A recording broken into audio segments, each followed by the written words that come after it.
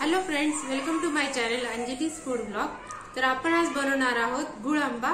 चला तर मग व्हिडिओला स्टार्ट करूया.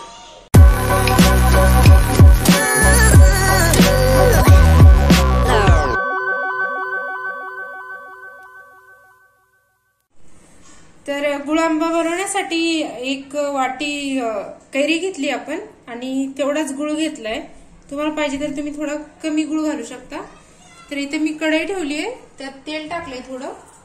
आता आपण तेल गरम झाल्यानंतर मोहरी टाकूया.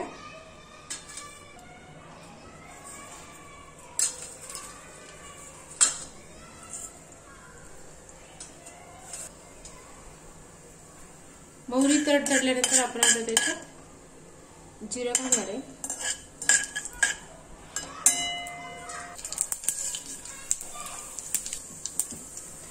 आणि तुम्हाला पाहिजे तेवढं तिखट आणि हळद टाकायची. लगेच कैरी घालायची.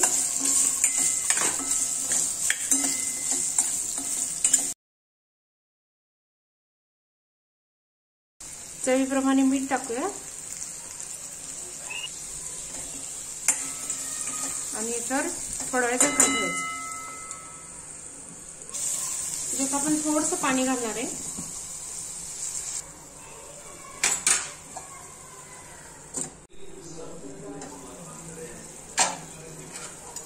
तर आपली कैरी छान शिजली आता. आपण आता याच्यात गुळ घालूया.